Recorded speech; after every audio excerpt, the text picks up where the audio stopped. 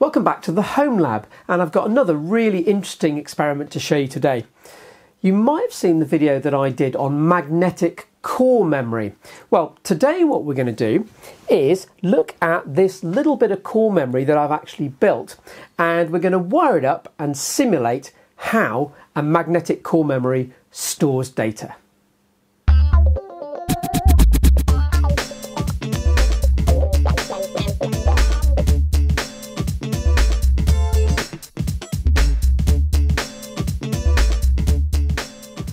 But before we start, I just want to say again a huge thank you to you for supporting my channel and watching my videos.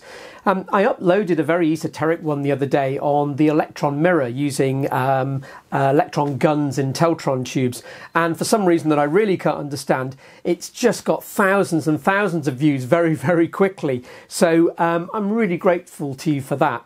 Also, I'd like to say thank you to my sponsors, PCBWay, who have really encouraged me to go and make videos. They uh, constantly get in touch and say, come on, make some more videos, and we'll encourage you to make more do go and have a look at their website to see the services they do because as a maker they do some really useful things particularly bespoke um, printed circuit board making for your projects but also cnc machining and 3d printing and things like that. They've got a really good website that's got lots of projects on it from other makers and that might give you some ideas for something that you might like to try so just before we have a closer look at this little bit of core memory I've made with uh, nine bits of uh, data storage on it, perhaps a really quick recap on how this kind of memory works. So um, it consists normally of thousands and thousands of ferrite toroidal cores and if you remember, you can magnetize these uh, in one of two directions. Um, of course, they can be completely uh, randomly magnetized, but when you put data into them, you can magnetize them so the magnetic field goes round in one direction, perhaps anti clockwise, and maybe stores a zero. Or you can reverse that magnetism and have it going clockwise and maybe storing a one. The next bit is getting that data out of the core and the process of reading the data destroys the data, so it has to be rewritten. So, what we're going to look at today is firstly, how do we get data into one of the cores so we don't put it into all of them at the same time? And then, how do we write and later read the data and then rewrite it?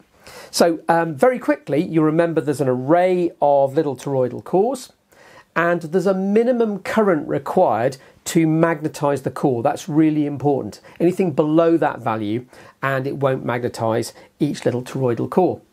So you pass wires through the cores, but the clever thing is you only pass half the current needed in this direction to magnetize the core and the other half of the current that will be needed to take it up to the full value that will cause the core to magnetize is past 90 degrees in this direction.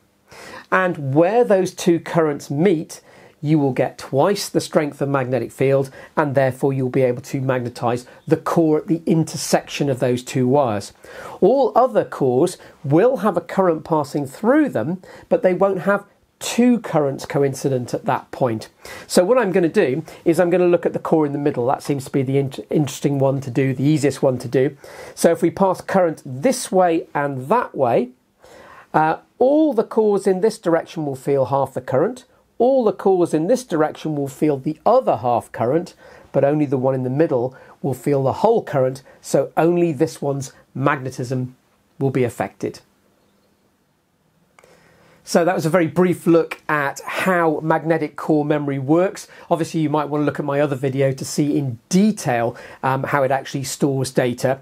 But I hope you've got a good enough understanding now of the coincident currents and the magnetism, two different directions of magnetism in the little toroidal ferrite cores for me to now go onto the bench and show you how this would actually store and retrieve data.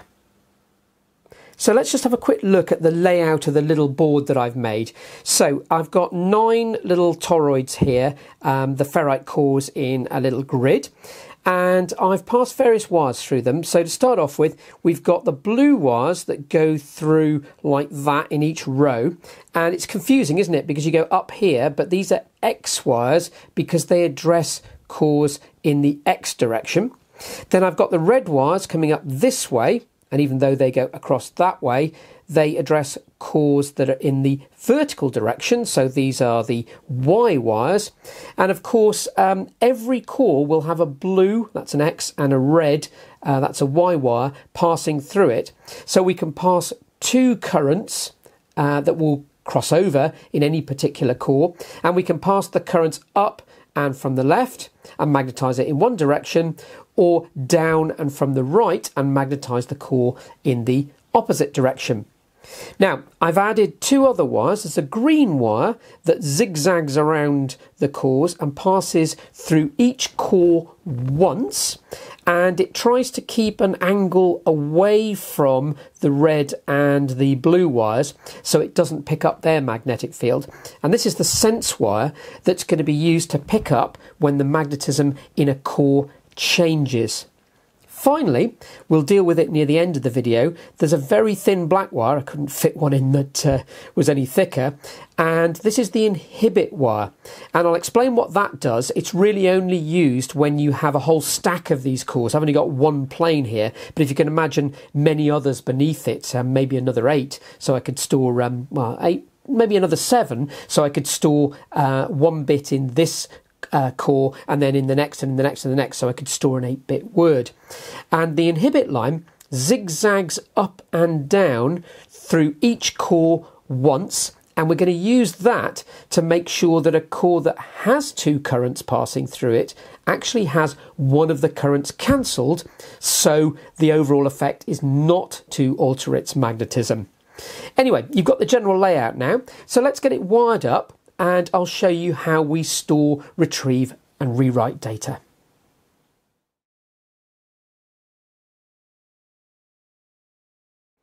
So to begin with, let's look at how we would store a zero in this central core.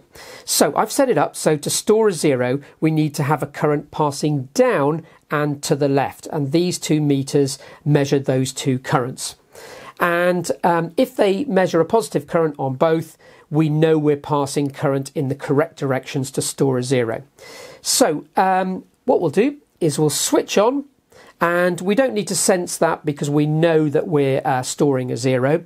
It doesn't matter what state this core is in, whether it was in a zero already, whether it was uh, a one, or whether it was completely randomly magnetized. We want to store a zero, so we're going to force the magnetic field to be in the direction that we consider to be zero. So here we go, watch X and Y. We turn them on.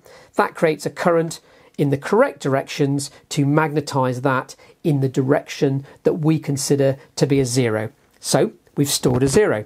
So all we have to do now is go back and read that data. Right, so let's read the data in this little central core now. And if you remember, the way to read the data is to force that core to go back to a zero state. Well, it's already in a zero state, so when we force it to go back to a zero state, there won't be any change in magnetic field in it. And as there's no change in magnetic field, uh, we won't induce a current in the sense wire, so the sense meter won't read, so it will uh, see that the core is storing a zero. So we're going to force this core back to the zero state. Remember, it's already in the zero state. So here we go. There's the pulse. Nothing on the sense wire at all. So that core hasn't changed. So we know that it was in a zero state before. So we've read the fact that it was storing a zero. So now let's store a 1 in this central core. Now to do that we've got to reverse its magnetism. We're not going to sense that and we're not going to use the inhibit meter. So it's these two you need to watch. But obviously to create a magnetic field that's in the opposite direction we need to pass coincident currents through that central core in the opposite direction to when we write a 0. So what we're going to do is we're going to pass currents up through that core and towards the right. So watch the two meters. Um, the currents are obviously in the opposite direction. So when we magnetize that core, there you go, there are currents in the opposite direction, and that will have stored a 1 in that little central core. So, um, reading the data in a core is really interesting because it's actually a destructive process. If you remember, we've stored a 1 in that core, but in fact, to read it, what we do is we force it back to the zero state. If it was already at zero, then there's no change, so those currents have no effect. However, if it was in the one state, in other words, reverse magnetized, when we magnetize it back to the zero state, there'll be a change in magnetic field in that core. The change in magnetic field will induce a voltage on the sense wire, and because the sense wire is in a circuit, you will see a pulse. So the act of changing this, reading it, but changing it back to a zero, if we get a pulse, we know that its magnetism has flipped, so we know that it was originally storing a data bit as a 1. So let's remagnetize that core as a 0, and if we see something on the sense meter, we know there's been a change in magnetic field, so there was definitely a 1 stored in it. So here we go. Let's pass the currents through. You need to watch X, Y, and sense and see if you see a pulse. And there we go. Okay. So if you remember, we've read the one bit of data in there, but we've read it by turning it back to a zero. So we've now got to rewrite that data so it remains in memory because reading data is a destructive process. So we've got to reverse the currents through this core and remagnetize it as a one. So watch these two meters, current in the opposite direction. There we go. I've disconnected the sense uh, because we don't need to sense that. But now we've remagnetized this central core back to a 1, so that data is now back in memory to be read again at a later stage. So finally, and I hope you're still following me with this uh, nest of uh, wires and things, we're going to look at the role of the inhibit wire. So if you remember, it doesn't apply in this case because I've only got one core plane. But if this was the top one in a stack of 8, then I could store an 8 bit word at once in every central core if I addressed them all at the same time. In other words, imagine I wanted to store zeros, so 0, 0, 0, 0, 8 zeros. I would just connect um, together all the y's downwards and all the x's uh, crossways, and uh, in every plane, the currents would be in the same direction. They'd cross at the same time in all of the central cores, and they'd all store zeros. However, what if I wanted to store one zero zero zero zero zero zero zero? In other words, I wanted the top plane to store a number where the first, the most significant bit, was a one. Well, I want to do it all at the same time, so I don't want to do each uh, core plane at a different time. I want to do them all in one go. So what I basically want to do is I want to store zeros in all of them apart from the top one. So what I do is I pass a current in the opposite direction through the inhibit wire, through all the cores in the top plane. So anything I do on the top plane, if there's a 1 already stored in there, anything I do in the top plane will not affect that 1 because I've got half the current coming down inhibit line in the opposite direction to the two currents that want to turn it into a zero. I hope I've explained that reasonably well.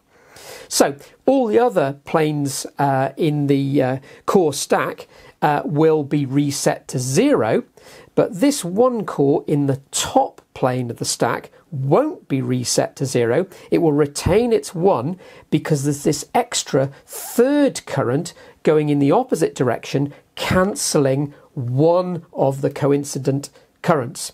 So let's turn it on, send a pulse through this system that wants to reset this core to zero, but we're going to have an inhibit current in the opposite direction that will stop it from doing that. Right, so here we go. So you need uh, sort of good eyes here. You need to watch X and Y, the coincident currents trying to set this to zero, and the inhibit current in the opposite direction, cancelling out one of those currents, meaning the magnetic field in the, in the little core is not strong enough to flip it back to zero. So three, two, one, go.